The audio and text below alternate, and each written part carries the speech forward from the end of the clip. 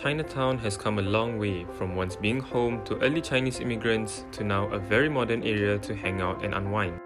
However, amongst the hustle and bustle of Chinatown, there is a culture that once was very dominating but is slowly fading away. Dialects.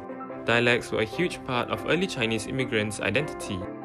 It gave them a sense of belonging with the people of their home country. If dialects die, a large part of culture dies too. Hence, to keep dialects alive and retain the culture, we came up with Lost Voices, a dialect tour in Chinatown by Lions Befrienders to reignite the use of dialect and allow the seniors to give back to society.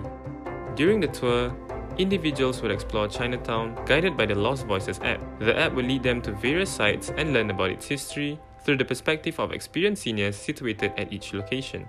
Not only that, they are given some words and phrases to encourage conversations with the people around them. Once done with the tour, they could try out the quiz feature at their own time to get to know phrases better. There are many categories to be completed in each dialect. Interested individuals can head to the website to read more about the history of the five dialects and how they emerged in early Singapore.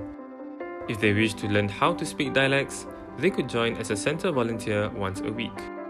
Individuals can mix around with seniors to converse in dialect with the help of conversation starter cards to ease tensions.